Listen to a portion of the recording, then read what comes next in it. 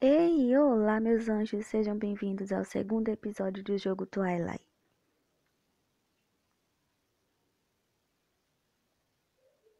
Eu fico ali durante, bom, não sei quanto tempo depois que Kate atendeu o telefone. Olhando a mensagem que tenho na mão, me dei conta do quanto ou do muito que eu tremia. De acordo, Ailey. Centre-se, se concentre. Não sabe com segurança para que precisam de sangue. Fecho os olhos respirando fundo e chamo na porta parcialmente aberta. O som do telefone ao desligar soa através da abertura da porta e vejo o olhar de Kate desde o escritório. Seus passos se arrastam para a porta e olho desde Kate para os surpresos olhos negros de Colin. Rapidamente mascara a surpresa com um doce sorriso. Oh, Ailey, é você. Por favor, entre. Estudo seu rosto enquanto entro com cautela. Claro, parece simpático, mas é só uma artimanha para beber sangue humano. Kate aclaria a garganta, o que atrai meu olhar para ele enquanto se aproxima.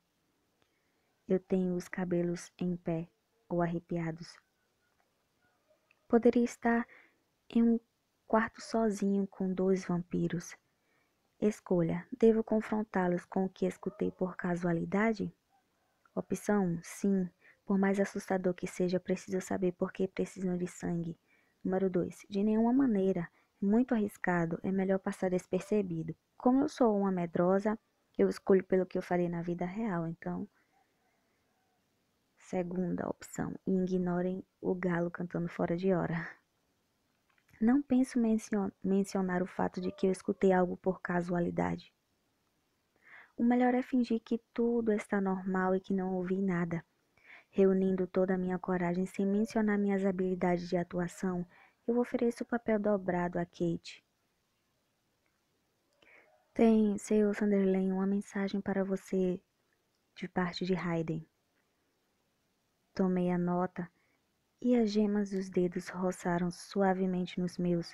Como pode causar uma reação tão desconcertante com um simples toque? Acredito ter dito que me chamasse de Kate. Arquei as sobrancelhas antes de abrir e ler a nota em silêncio. Eu, isso, eu sinto muito, Kate. Colin sacude a cabeça para Kate e logo se volta para mim com um doce sorriso. Não lhe faça caso, se põe um pouco irritante quando tem fome. Fome de quê? De comida ou de sangue? Enquanto Kate continua lendo a nota, Colin se aproxima de mim. Você se inteirou do ataque de vampiros perto daqui essa manhã cedo? Meu sangue gela ao pensar no ataque de vampiros. É horrível, sabe se os dois saíram bem do hospital? Quando trato de ler suas reações, de repente me dou conta de que tanto Colin como Kate estão me estudando cuidadosamente. O quê? Acreditam que sou um vampiro ou algo assim? Não sou eu que trata com sangue humano. Eu ouvi que é provável que consiga consigam, graças a Deus. Por uma vez, meu novo chefe parece totalmente sincero. Ah. Mas em um momento muda de expressão e me dá esse meio sorriso. Assim que a ele obrigado pela nota e por seu primeiro dia de trabalho. Pode se retirar até amanhã às oito em ponto. E Aile? Seus escuros olhos brilham como quando se detém e me dá um lento e muito óbvio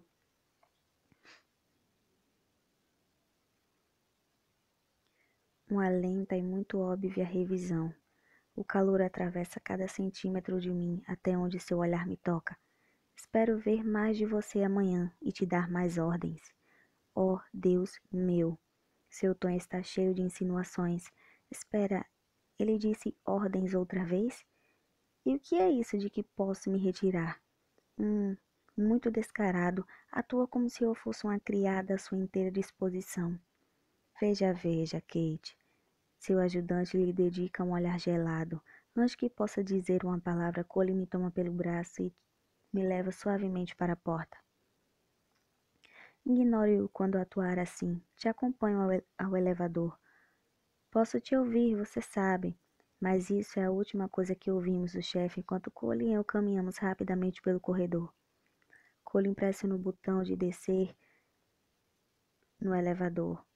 Se importa se eu for ao estacionamento com você para me assegurar de que chegue ao seu carro sã e salvo? Opção: Como devo responder? Primeira: Claro, depois do ataque do vampiro, possa ser que seja uma boa ideia. Ou dois: Não obrigada, não se preocupe. Ou três: Encolher os ombros e deixar que ele decida. Eu estou fazendo como eu faria na vida real. Oh, não se preocupe por mim. Estou segura de que poderei chegar bem ao meu carro. E todavia não estou de todo segura de saber o que está acontecendo aqui na, na companhia. E sim, Cole e os outros são. Entro no elevador, me dou a volta, me dei a volta e vejo Colin me olhando com curiosidade. Depois sorri e se despede quando as portas do elevador começam a se fechar. Ok, Aileen. Boa noite. Tenha cuidado. Desço até o estacionamento, me sentindo repentinamente exausta depois desse primeiro intrigante dia de trabalho. Só preciso ir ao apartamento e tomar um banho de banheira ou algo assim. Me aproximo do meu carro. Pressiono o botão das chaves do meu, do meu automóvel para abrir e levo a mão para a trava da porta. O som dos passos atrás de mim fazem com que meu coração se acelere e meu corpo congele. Quem? Posso te pedir um favor? Hã? Me dou a volta e vejo o olhar frio de Hayden a uns só centímetros de mim. Um favor? Se refere ao meu sangue ou algo assim? Um favor? Hum, depende. O que é exatamente? Parece que meu carro não arranca. Poderia me levar para casa? Deveria levar Hayden para casa? Ou sim, por que não? Ou que acontecerá se tiver motivos ocultos? Eu gostaria muito de escolher a primeira opção, mas eu já disse que provavelmente vou precisar dos rubis no final, então. Tchau, tchau, Hayden. É, eu sinto muito. Eu fiquei com alguém e já vou tarde, adeus. Antes de me sentir muito culpada por mentir e deixar Hayden largado, abro a porta do carro e subo nele. O olho através da janela, tem uma sobrancelha arqueada e seus lábios tremendo com um sorriso. Se despede com a mão antes de que eu arranque e saia em disparada. Enquanto conduzo pela autopista para meu apartamento, me sinto mal, mas é mais seguro dessa maneira, e só queria uma desculpa para me morder, não?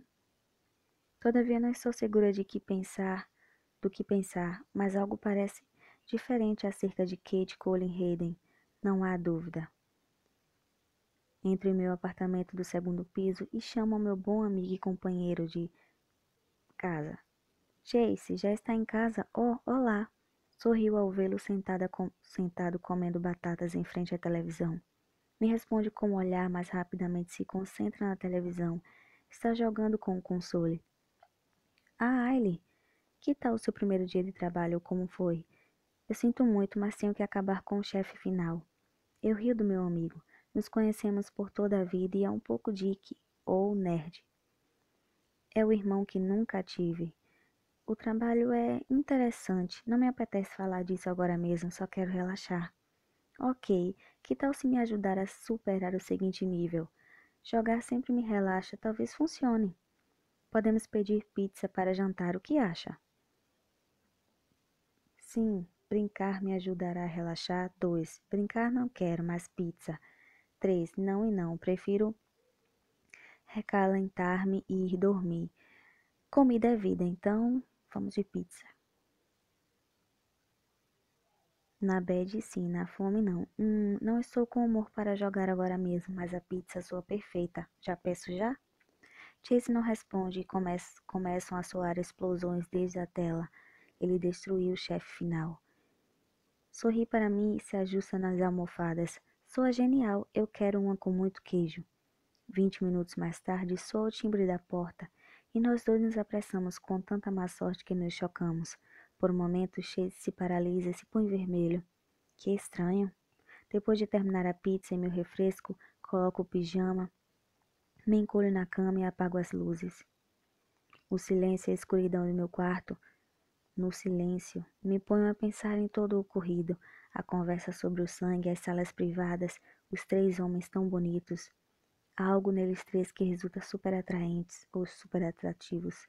Essa noite não paro de sonhar com garras, sangue vermelho escuro e corpos pálidos e drenados. Saio do carro e entro no elevador com várias bolsas enormes de sanduíches e batatas frias na mão. Não, no estacionamento. Ela entra no estacionamento. Bom, meu pedido para o segundo dia de trabalho se completou com êxito. Primeiro eu levei café pela manhã e agora me encarregou do almoço. Kate pensa que sou sua servente ou o quê? Suspiro e arrasto as pesadas bolsas para o elevador. Um movimento repentino à minha esquerda me chama a atenção. Desde o outro lado do estacionamento pouco iluminado, há uma figura alta e ampla, com uma capa branca com capuz. O vampiro daquela foto? Não, não pode ser. Acelero o passo, só quero chegar à salva. Mas a figura se detém, quase não se vê o seu rosto. Pouco a pouco gira a cabeça para mim. Inclina forte enquanto os seus dois olhos vermelhos ardentes se cravam nos meus, inclusive a vários metros de distância. Ah, não, não, não vou deixar que aconteça. Não é possível que me ataque um vampiro. Corra, ele, corra mas ao sentir seu olhar cravado em mim, fico paralisada ali mesmo. Bom, olá, minha preciosa pequena. De repente, de repente está justo ao meu lado.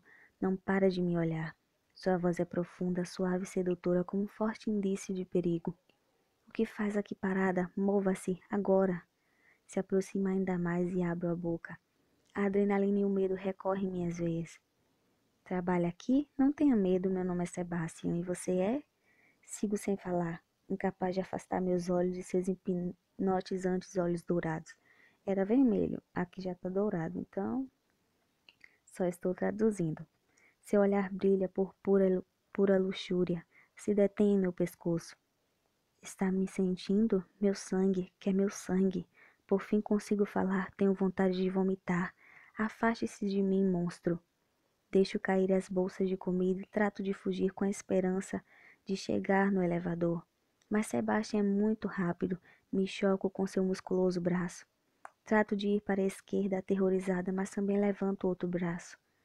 Me tem aprisionada. É alto, tem força e um aspecto ameaçador. Empurra seu pescoço contra o meu, seu corpo contra o meu. Já não posso pensar bem. Tenho a mente e o corpo quase entumecidos pelo medo mais desgarrador que eu nunca havia conhecido. Levanto as mãos e começo a golpear o seu peito, mas está duro como uma rocha. Deixe-me ir, bruto. Ajuda, ajuda, que alguém me ajude. Vampiro! Grito mais forte que posso. Minha voz treme e ninguém me escuta. Minha vista nubla. Ninguém, ninguém vai me ajudar. Não posso acabar assim, não. Solto uma risada sinistra. Meu estômago faz um grande nó. À medida que o rosto de Sebastian se aproxima, e vejo suas duas garras afiadas justo em frente de mim, fico paralisada. Estou petrificada, hipnotizada. A sensação de seus dedos fortes movendo pelo meu pescoço me enferma. Sua boca está cada vez mais perto. Você cheira delicioso. Minha doce criança, não posso resistir. Sua voz é grave e áspera, faz com que me revolvam as tripas. Não posso fazer nada. Isso é tudo, o fim. Vai chupar meu sangue, vai sair nos periódicos e meus pais, periódicos jornais. Meus pais ficarão devastados. À medida que esses pensamentos desesperados passam por minha cabeça, fecho os olhos e me preparo para o que estou certo de que será um agudo de dor em minha pele. À medida que esses pensamentos. Ah, repetiu. Acabou. Até a próxima. Beijo da Mega Aileen.